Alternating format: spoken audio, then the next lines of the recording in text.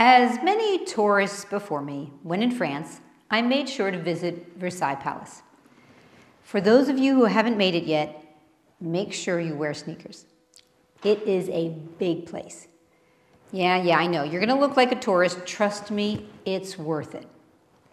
I had signed up for a 90 minute tour taking place near the courtyard, which was starting in a few minutes. The challenge was that I was past the courtyard across the gardens.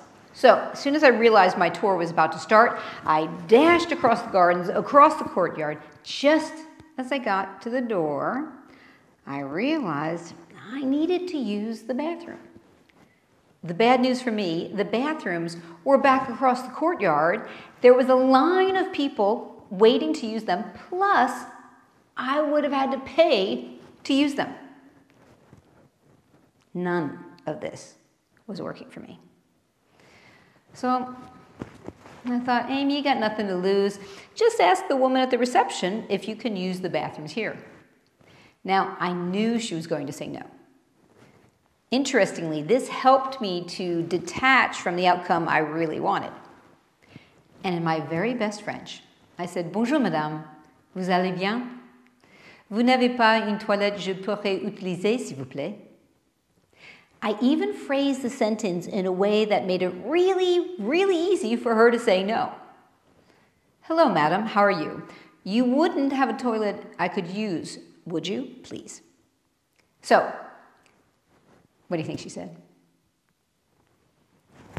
Exactly. She said no. I knew she was going to say no. And this is how I responded. D'accord. Merci quand même. Thank you anyway. And with, I did it with a warm smile. And this, my friends, is where the magic happened. I was just about to turn around. Before I got halfway turned around, she said to me, Well, I can make an exception for you. Say what? I thought. She told me to follow her. So we tiptoed across the main entrance, kind of like, like we were in the middle of a Pink Panther movie. Dun, dun, dun, dun, dun, dun, and then when we got to the bathrooms, she apologized that they weren't nicer. Frankly, I thought, I'm not looking for Louis' throne here. Now, why do you think she chose to make this exception for me? My belief is that because I didn't punish her for giving me what I wanted, she felt the freedom to choose.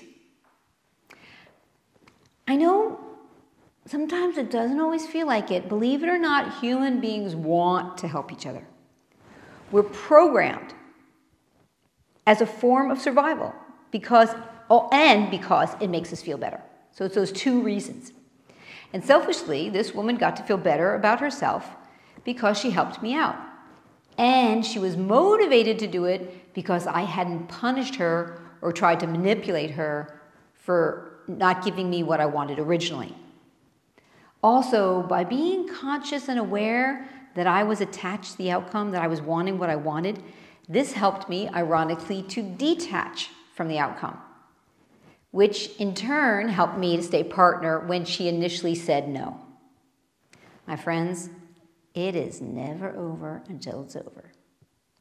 Always believe magic can happen. And bonus is that even the times when you don't get what you want, it still counts because you've gone to the partner gym. You've built those partner muscles.